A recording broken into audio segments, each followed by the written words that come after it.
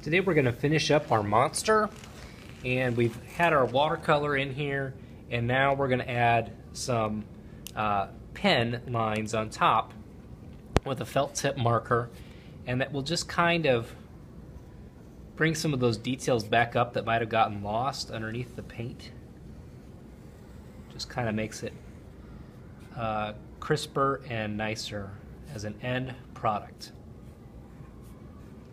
I'm just tracing the lines that I drew with a pencil and if there's any that I don't want I can just skip over those.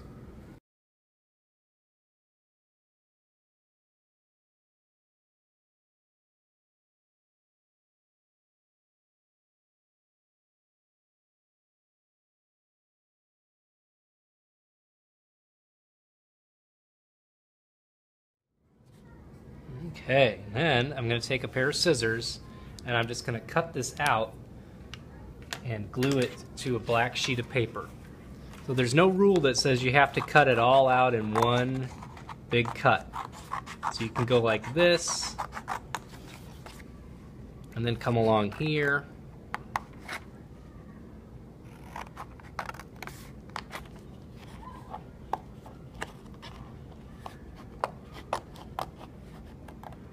I'm always moving the paper and not the scissors.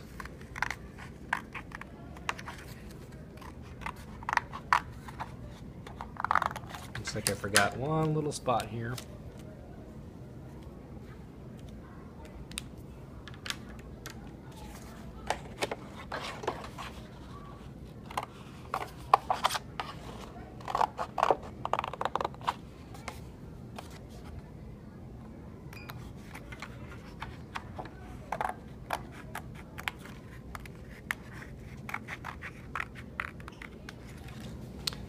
Now I have cut my monster out and I am going to turn it over and glue it onto a black sheet of construction paper with a glue stick. First thing I'm going to do though is write my name on the back in pencil. It might be kind of hard to see on black paper, but don't worry, we'll still be able to get it. Uh, then I'm going to turn this over and I take my glue stick and I turn it up just a little bit. You don't want it to go way out like a stick of lipstick. You just need a little bit and we're gonna go across all the parts.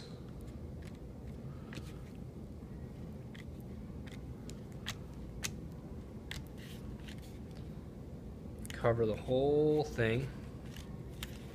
And then we'll try to put it right in the middle of that black paper. And you're gonna need to press down pretty firmly with your fingers on all the areas. And then we're done.